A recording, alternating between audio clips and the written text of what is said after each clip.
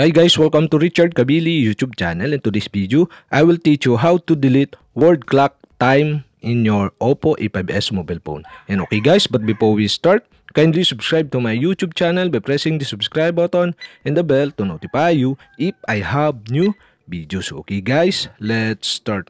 So okay guys, you all have to do is click the word clock widget to proceed to word clock settings. And okay guys, here below you can see the alarm, the word clock, the stopwatch, and the timer. And okay guys, in this tutorial, I'll show you how to delete word clock time. And okay guys, you'll have to do is go to word clock.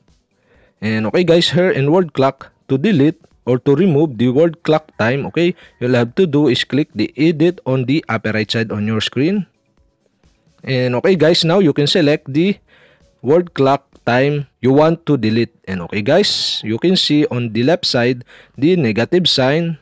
And okay guys, for my example, I choose this one word clock time to delete this. Okay, to remove this or to delete this, you'll have to do is click the negative sign on the left side. And okay guys, you can see the delete icon on the right side. Okay, you'll have to do is click the delete icon to remove or to delete the word clock time.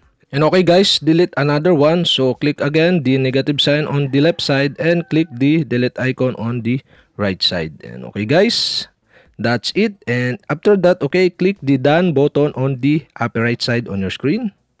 And okay guys, now we have successfully delete or remove the word clock time in your Oppo A5s mobile phone. And okay guys, that's it. And if you have a question, kindly comment below.